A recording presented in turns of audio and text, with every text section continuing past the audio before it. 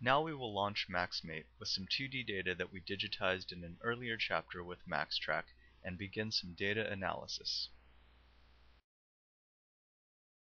We will open the treadmill MQA file in MaxMate here.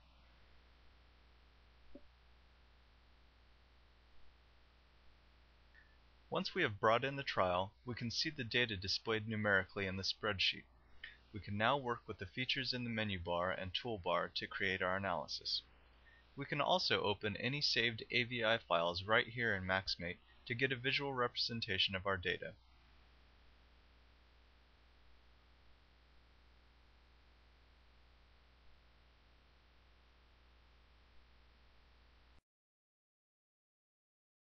Click on the Analyze option in the menu bar and let's start by doing some signal processing. Signal processing includes interpolating, which is used to fill missing points in digitized data, and filtering to smooth the motion capture data. Motion capture data is generally interpolated with a maximum gap of 10 assuming standard video data, and filtered with a low-pass filter with a cutoff frequency of 6. The new data is now stored in the tab Data, while the unfiltered data is stored under the Original Data tab. Now that we have prepared our data for analysis, we can graph some of the important kinematic parameters. The position analysis allows you to create XY graphs based on the movement of up to 50 markers at a time. You can also graph any of these markers relative to another axis or marker.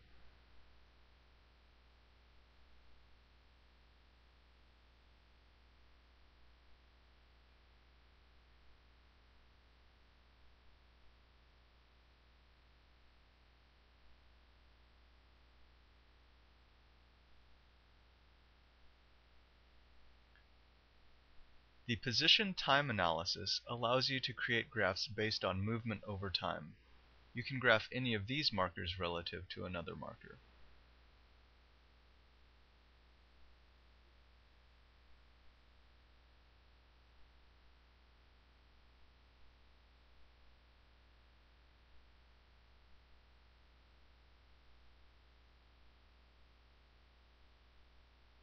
Velocity and acceleration graphs can be created in a similar manner.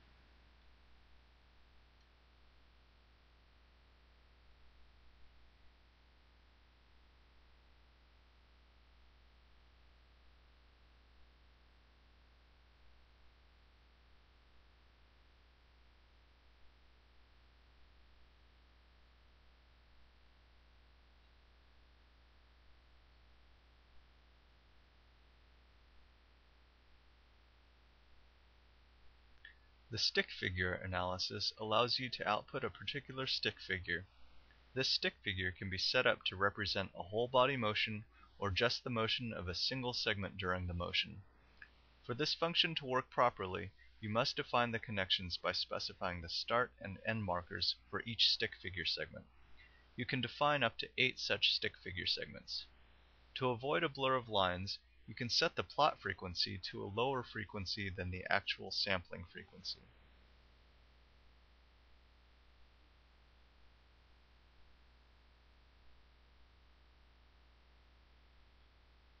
The angular analysis allows you to calculate the angle between two vectors or a vector and a plane.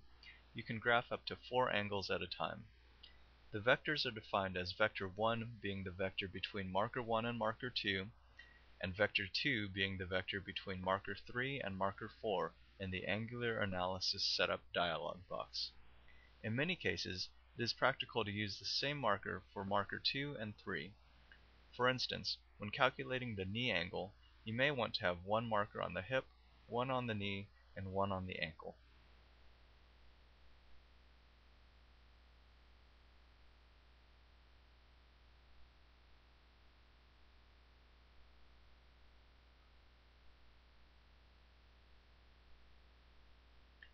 Angular velocity and acceleration graphs can be calculated in a similar manner to the angle versus time graphs.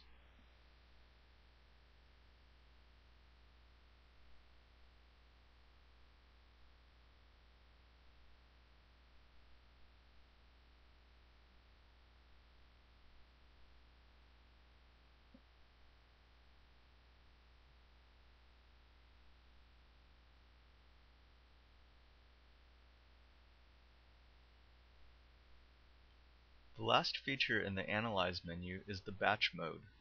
The Batch mode allows us to create all of these graphs with one click, assuming we have set up our graphs correctly. We can make changes to the individual graph settings by clicking on the graph name.